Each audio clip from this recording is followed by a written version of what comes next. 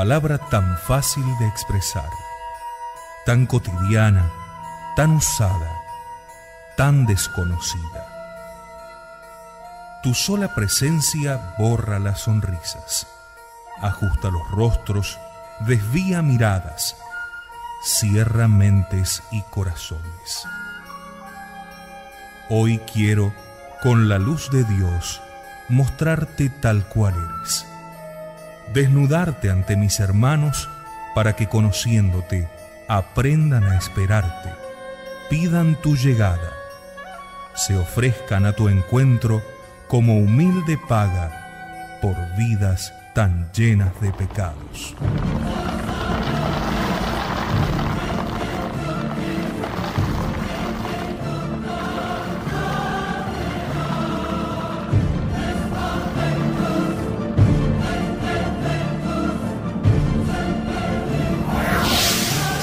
Producciones presenta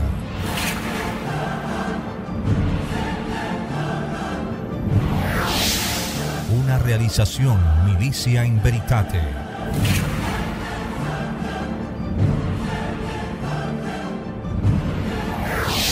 De San Alfonso María de Ligorio.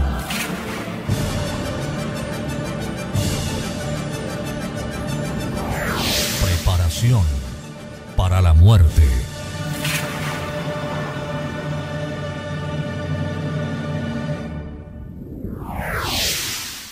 Consideración 12. Importancia de la salvación.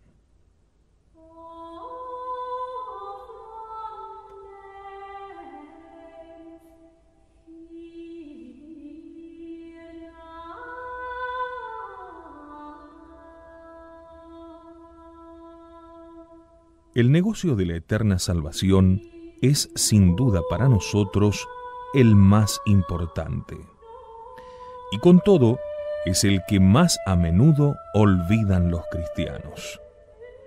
No hay diligencia que no se practique, ni tiempo que no se aproveche para obtener algún cargo, o ganar un juicio, o concertar un matrimonio. Cuántos consejos, cuántas precauciones se toman, no se come, no se duerme. Y para alcanzar la salvación eterna, ¿Qué se hace? ¿Cómo se vive? Nada suele hacerse. Antes bien, todo lo que se hace es para perderla. Y la mayoría de los cristianos viven como si la muerte, el juicio, el infierno, la gloria y la eternidad no fuesen verdades de fe, sino fabulosas invenciones poéticas.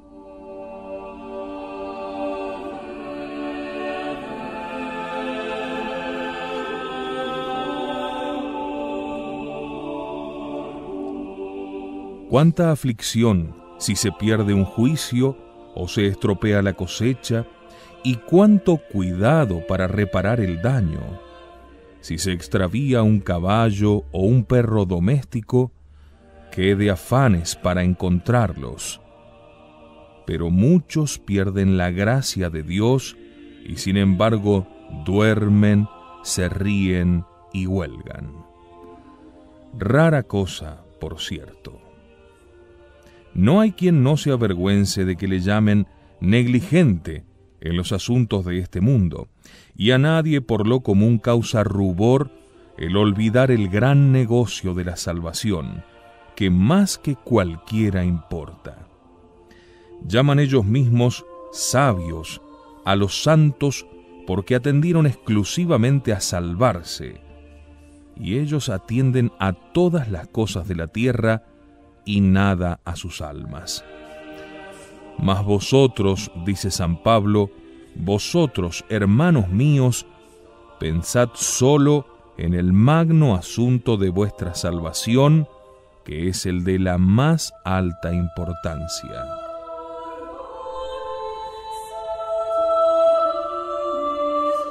Persuadámonos, pues, de que la salud y felicidad eterna es para nosotros el negocio más importante, el negocio único, el negocio irreparable si nos engañamos en él. Es sin disputa el negocio más importante, porque es el de mayor consecuencia, puesto que se trata del alma, y perdiéndose el alma, todo se ha perdido.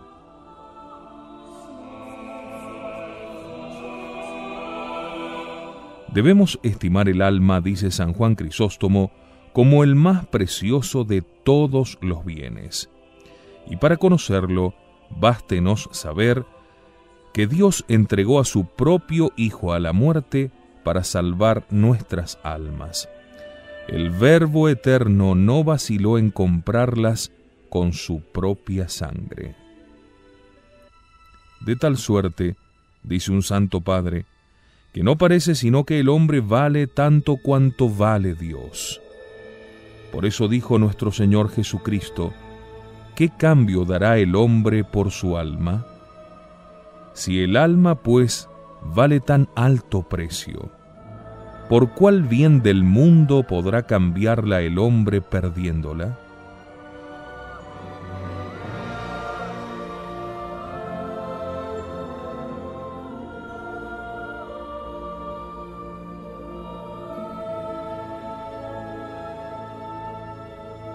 Cuánta razón tenía San Felipe Neri al llamar loco al hombre que no atiende a salvar su alma. Si hubiese en la tierra hombres mortales y hombres inmortales, y aquellos viesen que los segundos se aplicaban afanosamente a las cosas de este mundo, buscando honores, riquezas y placeres terrenales, sin duda les dirían, cuán locos sois. Pudierais adquirir bienes eternos, y no pensáis más que en esas cosas míseras y deleznables, y por ellas os condenaréis a dolor perdurable en la otra vida. Dejadlas, pues, que en esos bienes sólo deben pensar los desventurados, que como nosotros saben que todo se les acaba con la muerte. Pero no es así. Todos somos inmortales. ¿Cómo habrá, por tanto, quien por los miserables placeres de la tierra pierda su alma para siempre? ¿Cómo puede ser, dice Salviano, que los cristianos crean en el juicio, en el infierno y en la eternidad y vivan sin temor?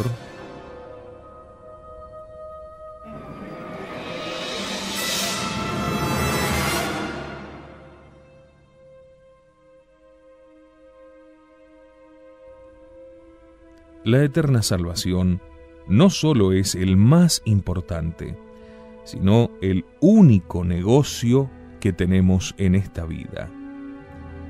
San Bernardo lamenta la ceguera de los cristianos que calificando de juegos pueriles a ciertos pasatiempos de la niñez, llaman negocios a los asuntos mundanos. Mayores locuras son las necias puerilidades de los hombres, ¿Qué aprovecha al hombre, dice el Señor, si ganare todo el mundo y perdiere su alma? Si tú te salvas, hermano mío, nada importa que en el mundo hayas sido pobre, afligido o despreciado. Salvándote se acabarán los males y serás dichoso por toda una eternidad. Pero si te engañas y te condenas, ¿de qué te servirá en el infierno haber disfrutado de cuantos placeres hay en la tierra, o de haber sido rico y respetado? Perdida el alma, todo se pierde. Honores, divertimentos y riquezas.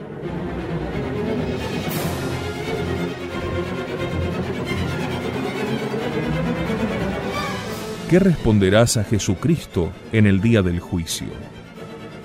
Si un rey enviase a una gran ciudad un embajador para tratar de algún gran negocio, y ese enviado, en vez de dedicarse allí al asunto del que ha sido encargado, solo pensara en banquetes, comedias y espectáculos, y por ello la negociación fracasara, ¿qué cuenta podría dar luego al rey? Pues, oh Dios mío, ¿qué cuenta habrá de dar al Señor en el día del juicio, quien puesto en este mundo no para de divertirse, ni enriquecerse, ni alcanzar honras, sino para salvar el alma, a todo menos a su alma hubiere atendido.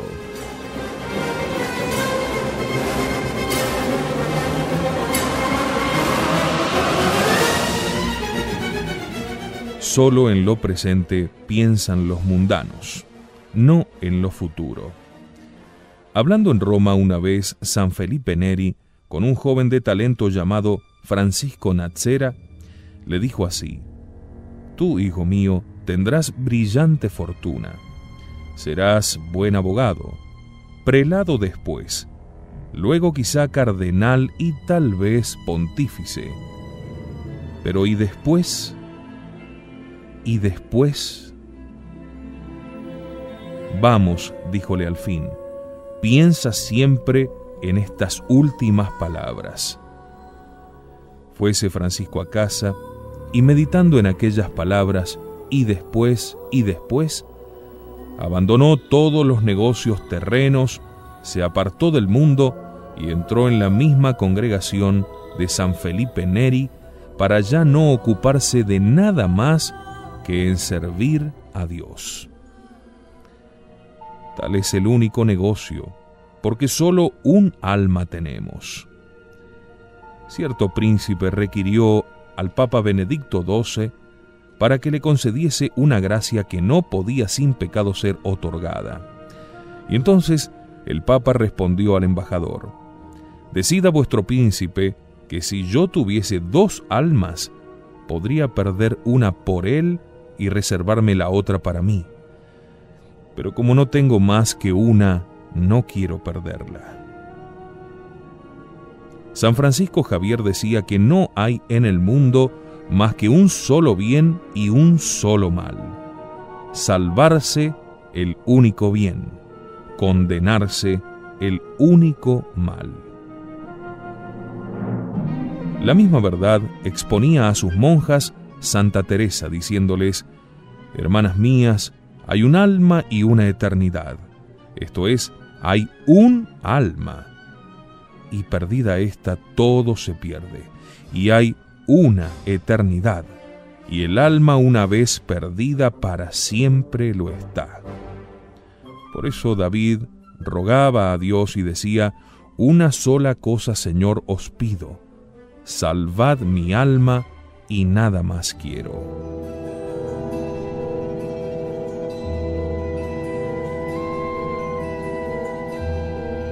Nos dice San Pablo, con temor y con temblor obrad vuestra salud. Quien no tiembla ni teme perderse no se salvará. De suerte que para salvarse menester es trabajar y hacerse violencia. Para alcanzar la salvación, preciso es que en la hora de la muerte aparezca nuestra vida semejante a la de nuestro Señor Jesucristo y para ello debemos esforzarnos en huir de las ocasiones de pecar y además valernos de los medios necesarios para obtener la salvación. No se dará el reino a los vagabundos, dice San Bernardo, sino a los que hubieren dignamente trabajado en el servicio de Dios. Todos querrían salvarse sin trabajo alguno, el demonio, dice San Agustín, trabaja sin reposo para perdernos. Y tú, tratándose de tu bien o de tu mal eterno, tanto te descuidas.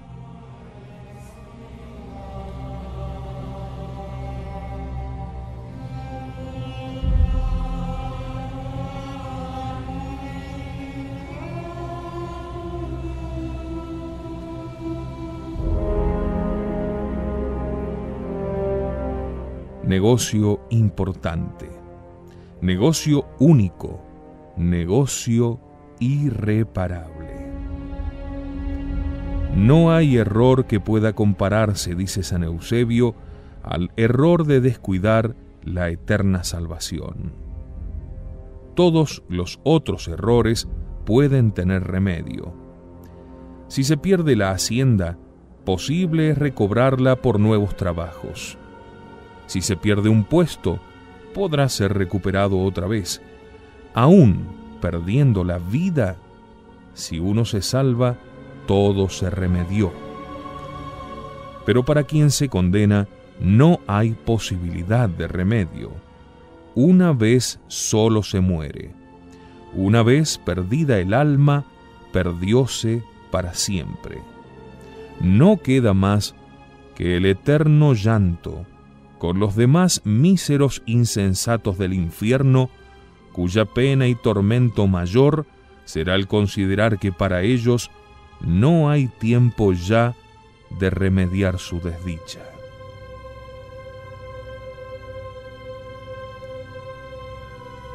Preguntad a aquellos prudentes siervos del mundo, sumergidos ahora en el fuego infernal. Preguntadles lo que sienten y piensan, si se regocijan de haber labrado su fortuna en la tierra, aun cuando se hallen condenados en la eterna prisión. Oíd, oíd cómo gimen ahora diciendo, erramos pues. Mas de qué les sirve conocer su error cuando ya la condenación para siempre es irremediable. Qué pesar no sentiría en este mundo el que habiendo podido prevenir y evitar con poco trabajo la ruina de su casa, la viera un día derribada y considerase su propio descuido cuando no tuviera ya remedio posible. Tal es la mayor aflicción de los condenados. Pensar que han perdido su alma y se han condenado por culpa suya.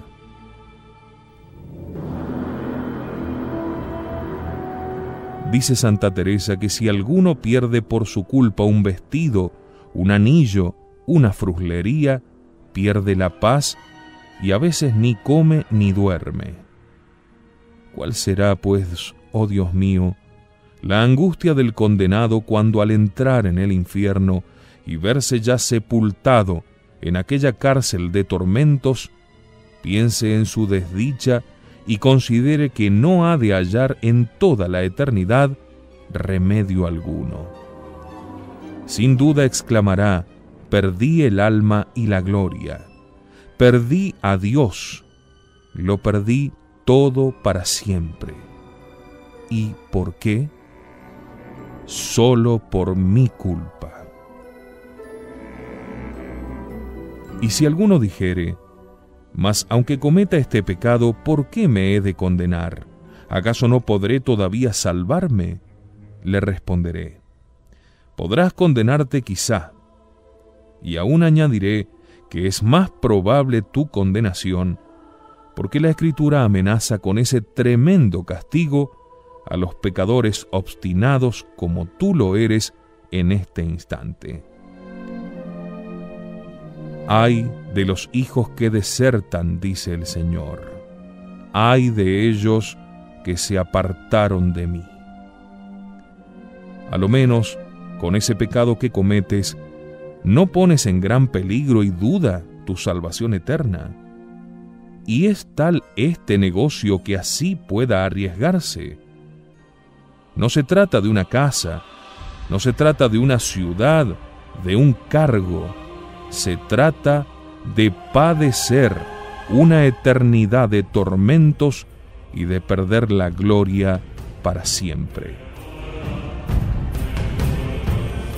Y este negocio que para ti lo es todo, ¿quieres arriesgarlo con un puede ser? ¿Quién sabe, replicas, quién sabe si me condenaré? Yo espero que Dios más tarde me perdonará, dices. Pero y entre tanto, amigo, entre tanto por ti mismo te condenas al infierno. ¿Te arrojarías a un pozo diciendo, tal vez me libraré de la muerte? Seguramente que no. pues ¿cómo fundas tu eterna salvación en tan débil esperanza, en un quién sabe? ¿Cuántos por esa maldita falsa esperanza se han condenado ya? ¿No sabes que la esperanza de los obstinados en pecar no es tal esperanza, sino presunción y engaño, que no promueven la misericordia de Dios y que antes bien provocan su enojo?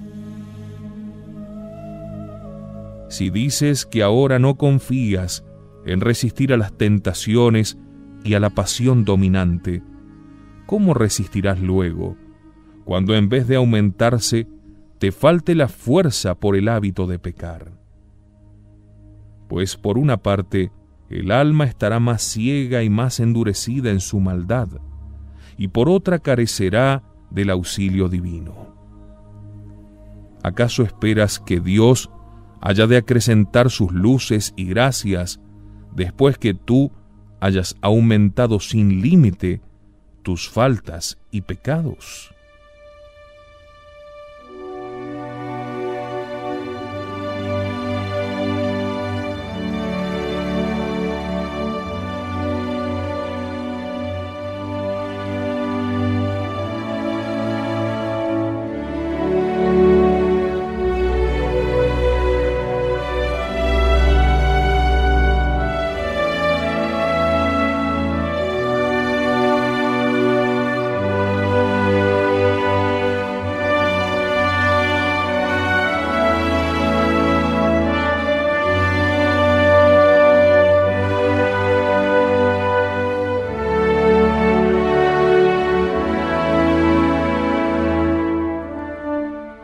Jesús mío, atendiendo a la muerte que por mí padeciste, aumentad mi esperanza.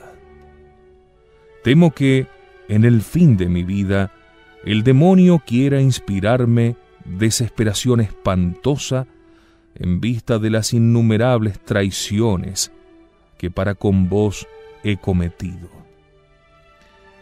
Cuántas promesas he hecho de no ofenderos más, movido por las luces que me habéis dado.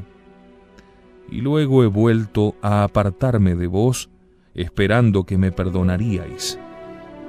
De suerte que no me habéis castigado, y por eso mismo os he ofendido tanto. Porque habéis tenido piedad de mí, os hice todavía mayores ultrajes. Dadme, Redentor mío, antes que salga de esta vida, profundo y verdadero dolor de mis pecados. Duélome, oh suma bondad, de haberos ofendido, y prometo firmemente antes morir mil veces que apartarme de vos. Mas entre tanto permitid que oiga aquellas palabras que dijisteis a la Magdalena. Tus pecados están perdonados. E inspiradme gran olor, dolor de mis culpas antes que llegue el trance de la muerte. De no ser así, temo que ese trance habrá de traerme inquietud y desdicha. En aquel solemne instante no me cause espanto tu presencia, oh Jesús mío crucificado.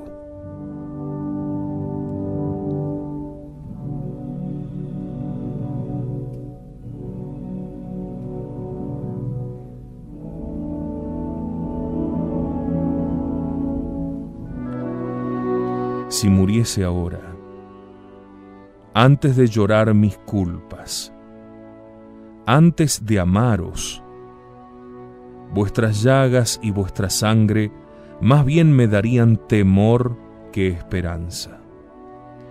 No os pido pues consuelo y bienes de este mundo en lo que me reste de vida. Os pido solo amor y dolor Oídme, amadísimo Salvador mío, por aquel amor que os hizo sacrificar por mí la vida en el Calvario. María, Madre mía, alcanzadme estas gracias unidas a las de perseverar hasta la muerte.